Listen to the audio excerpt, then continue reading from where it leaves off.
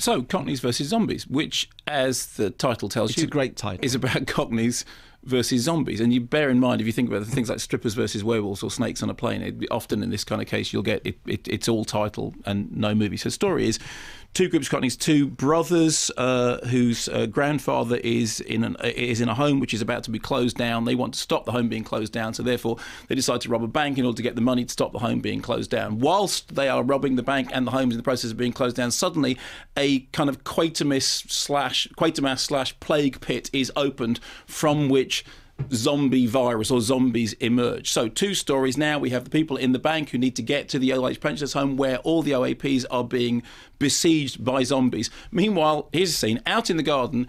There is uh, Richard Briers, who they are trying to get. To, Richard Briers? yes. They're trying to get to come back in from the garden because behind him, yes, are some zombies. Here's a clip.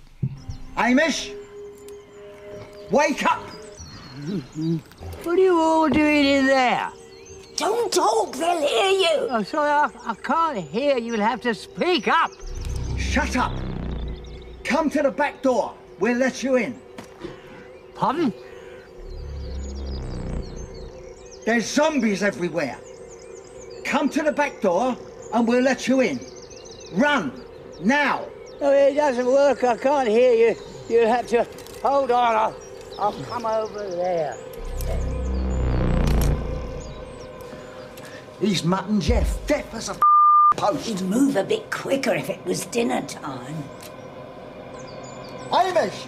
There's a zombie right behind you. Move! Run now! Zombie? Zombie? What are you going on about? Oh, my- oh, oh, it's a zombie. Oh, Run!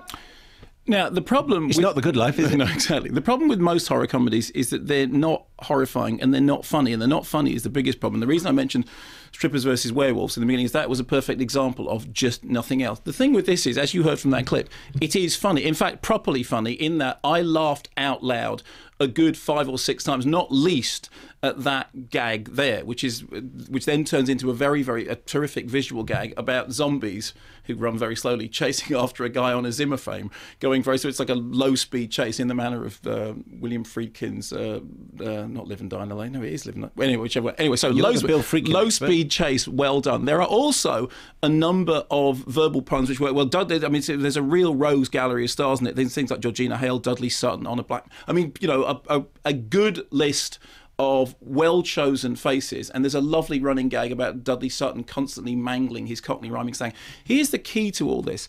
The thing with it is that uh, Nigel Floyd said in his review that it was about as subtle as a brick in the face. But the the the thing that works about it is it's well written. I mean, the, the writer's guy called James Moran who wrote Severance, which actually uh, again is a sorry, I beg your pardon, is a well written. You do keep I do keep banging it. microphone. You've Is a- forgotten how to do this. no, I have. Is a well-written black horror comedy with a sort of, you know, with with a sort of strain of jet black humour in it, which got into some trouble in the press but never deserved to.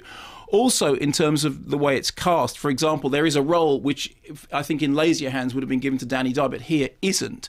So what you end up with is something that does exactly what it says on the tin, but is well constructed, does have a sense of a proper sense of humour, written by somebody who does properly understand how to write. And it is amazing how much, if you have a solidly written script, the rest of the th- everything else will fall into place on top of that.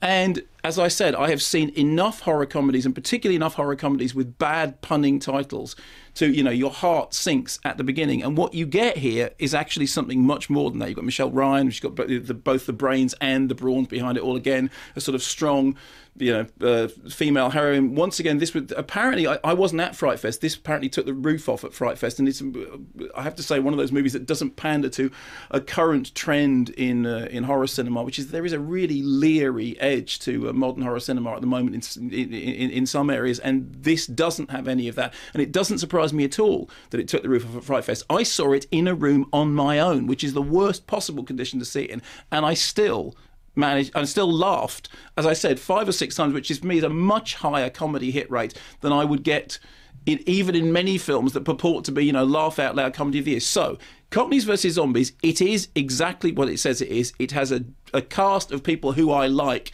and whose presence obviously uh, endears me to the project i think it's based on a solid script which is at the heart of it I don't think it's the most brilliantly directed film. I think that the direction is slightly, slightly faltering. I think he's a first-time director, but it was much, much better than uh, than one might expect. And and there is plenty in there that works on the level of horror comedy. And I've read a couple of dismissive reviews, and they're wrong.